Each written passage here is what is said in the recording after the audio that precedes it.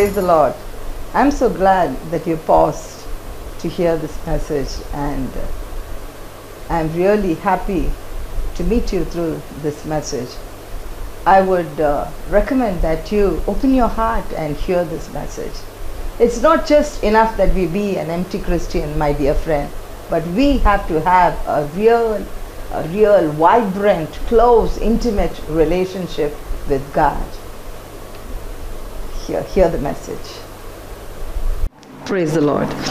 Turn the Bible with me to Hebrews chapter 11, verse 23. By faith, Moses, when he was born, was hid three months of his parents because they saw he was a proper child and they were not afraid of the king's commandment.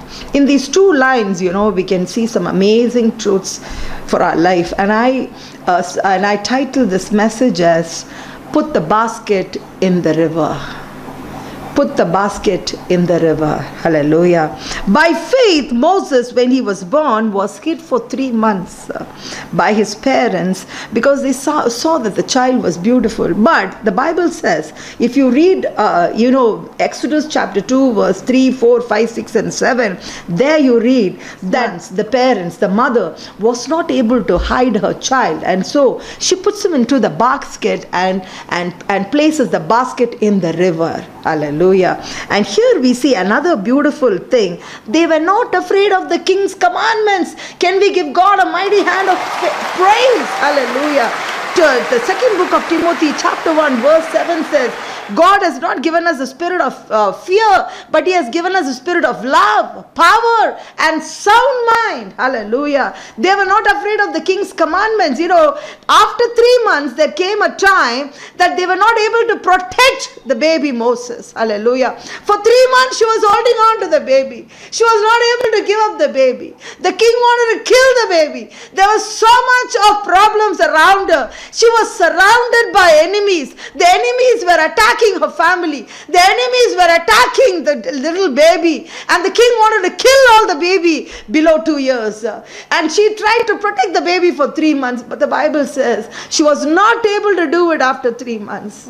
So she surrendered the baby. She put him on Nile River, put the basket on the Nile River, and let it go. I want to tell you something here. When we read this uh, uh, incident in the Bible, we read the entire episode how Pharaoh's daughter she comes just during that time, and you know the, the Bible says beautifully. Listen to me properly. The the the Pharaoh's daughter's maids were also there, and they were also coming around the river, but the God opens the eyes of the Pharaoh's daughter to spot the baby. Nobody, the maids did not see, but she saw the baby and she opened the basket and she saw that he was so beautiful. And because he was drawn out from the water, she names him Moses. Just watch the hand of God in all this entire thing. What are you afraid for, friend?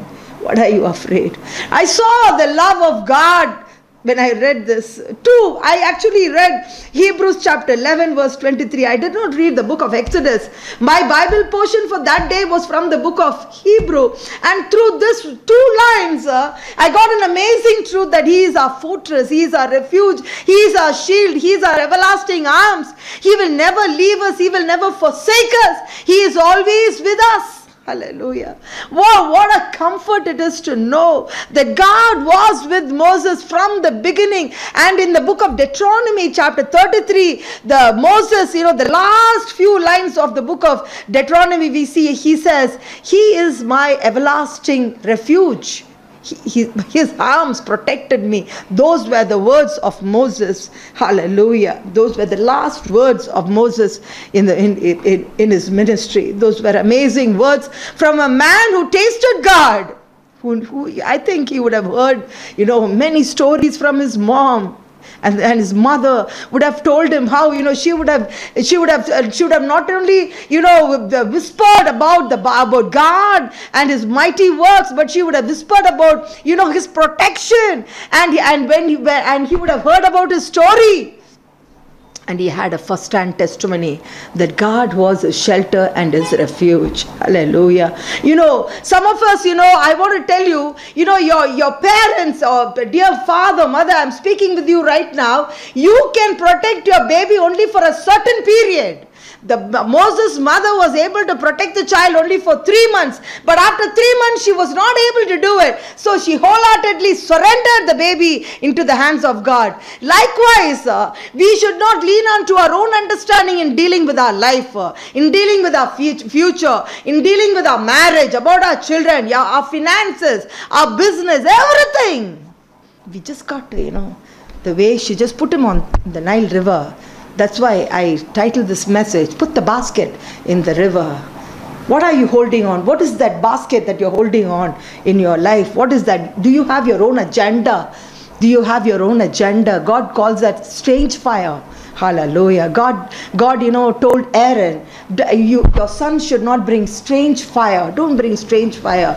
Strange fire will not be accepted by God. What is that basket? Hallelujah. What is that basket that you're holding? Do you have your own plans for your marriage? Do you have your own plans for your future? God says, put it there in the in the river and I will take it. When you surrender, he says, what am I asking you? I'm asking you to wholeheartedly love me.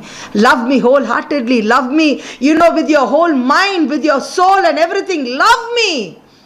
And surrender yourself, and then I will take care of you.